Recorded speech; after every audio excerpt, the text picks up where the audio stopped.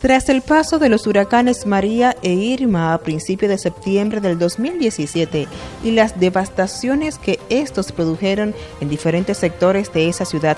autoridades locales y nacionales, entre ellas el presidente Danilo Medina, recorrieron esta ciudad y entre las promesas estuvo la construcción de un puente vehicular en el sector Ugamba, en sustitución del actual que está a punto de colapsar. Nosotros desde el mes de noviembre tenemos una promesa en la mano de que a final del mes de enero se iban a iniciar los trabajos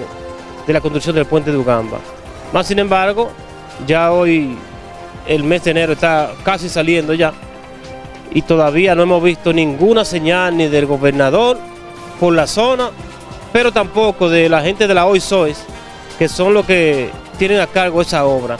el ingeniero Pagán, que fue quien hizo el compromiso con nosotros, conjuntamente hablando con el general de la plaza, y se comprometió a que en el mes de enero se iba a iniciar la obra. Todavía estamos esperando que la obra se inicie.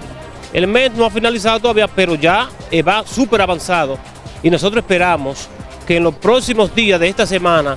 ya tengamos una, por lo menos, una respuesta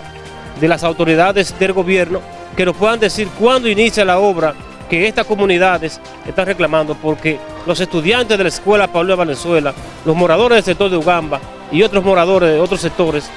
nos estamos viendo afectados grandemente cada vez que tenemos que cruzar por esa vía